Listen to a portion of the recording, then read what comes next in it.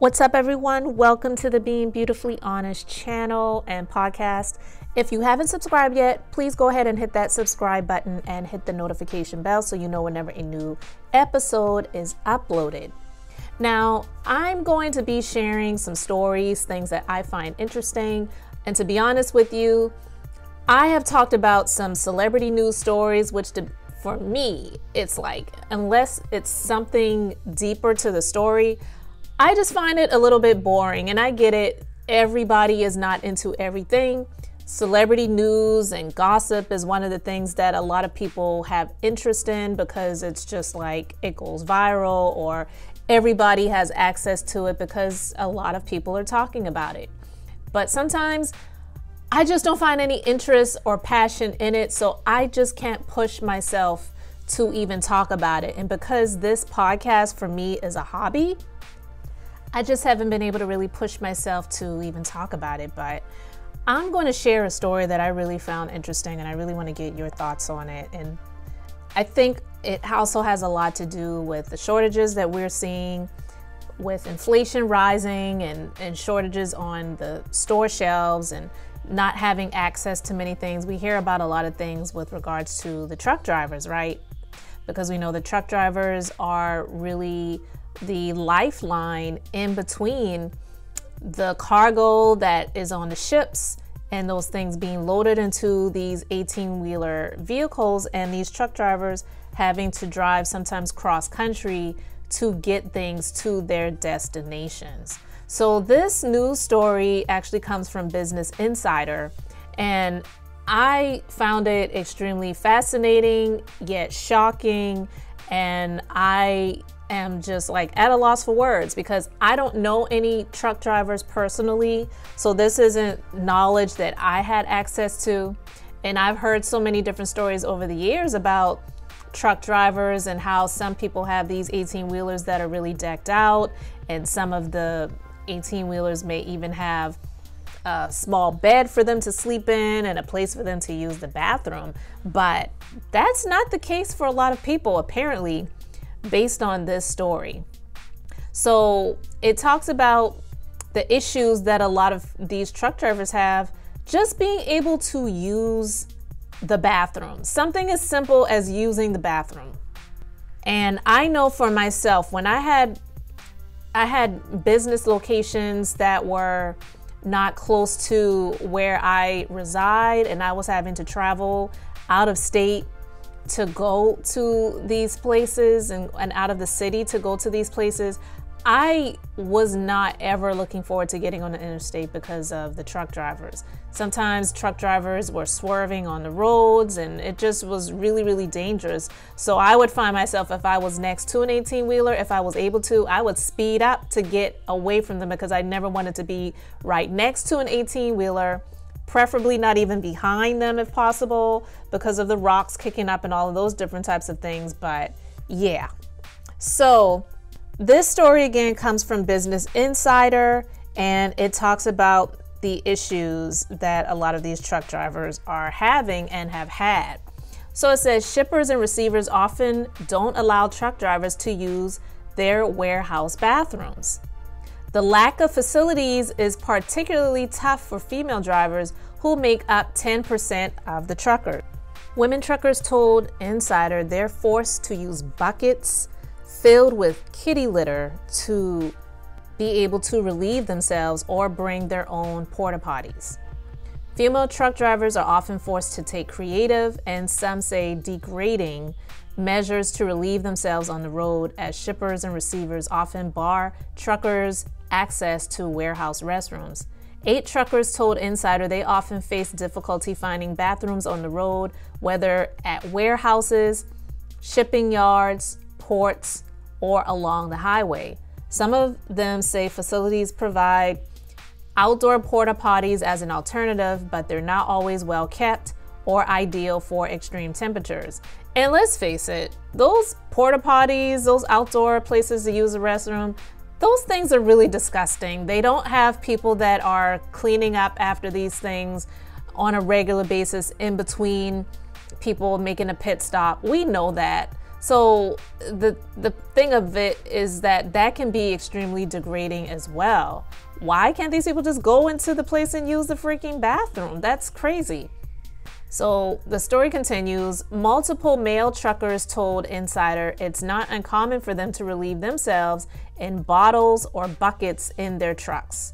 But for the female drivers, the lack of bathroom access can pose a more significant inconvenience.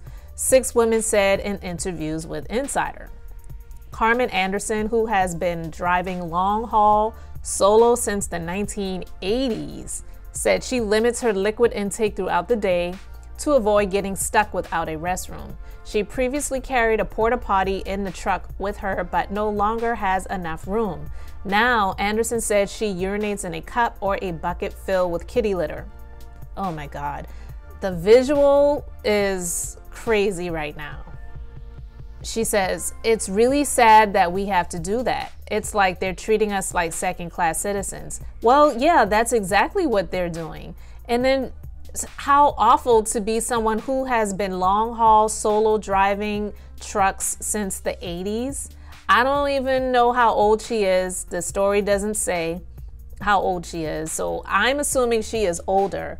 And the fact that she said she limits her liquid intake throughout the day to avoid getting stuck without a restroom, even with that, when you're not drinking as much as you need, you're dehydrating yourself, so it's not healthy. You're definitely not healthy. And when you're having to hold your bladder so that you don't have an accident, that is causing damage to your bladder as well because you are doing some damage to that muscle and to your bladder and, and having to hold yourself. I can't imagine what that would be like. So when she said that it's like they're treating us like second class citizens, they absolutely are.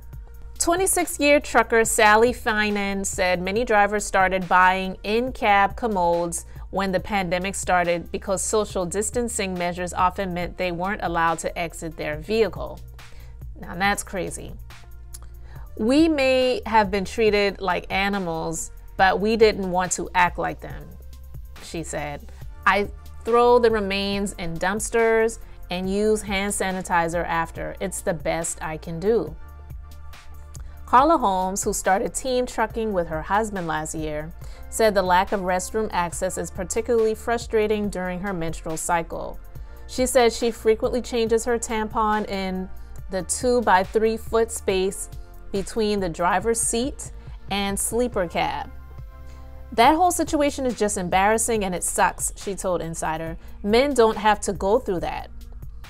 The trucking industry anticipates a shortage of 100,000 drivers by 2023, which is around the corner. And many recruiters are hoping women will fill the empty seats. Women drivers account for approximately 10% of the trucking workforce, according to a 2019 survey. Ellen Voie, founder of the nonprofit Women in Trucking, told Insider that she doesn't believe the lack of bathrooms is impacting the recruitment of women drivers, but it contributes to an overall feeling of disrespect that affects the retention. It's about respecting the driver and allowing them to use your facilities because it's a basic human need, she said. At a recent industry conference, Voie said she asked warehouse managers why they don't allow drivers to use their restrooms. Their answer, quote, they don't want the drivers in and out. They don't want to provide accommodations for drivers because they don't want them to be there very long. So basically, they want them to be in and out. They don't want them sticking around. Drivers typically wait at least two hours at shipping and receiving centers. The lack of bathrooms on the road is also an infrastructure and hygiene issue. Multiple truckers told Insider they've spent days on the road without access to a shower and waited in lines as long as six hours for a shower stall to open up at a truck stop. Veteran trucker Trish Bennett said some truck stop facilities have significantly cut back their hours in response to the national labor shortage. Sometimes it's a choice between taking a shower, staying on the road, or getting sleep. Bennett said. There are currently no laws requiring that warehouses provide truckers bathrooms. However, a Washington state legislator introduced a bill in early January that would make it mandatory for retail establishments to provide restrooms for their drivers. Now, this is all crazy. To me, it definitely sounds inhumane. What what basic human that is working a job, especially one like this, can't access a decent restroom when they are going to these places that they're delivering the items to that these places need? It's crazy. And for the women, even more so because we know, you know, not saying that men are not human beings, but I mean, we know they can go in the bushes and it's not a big deal.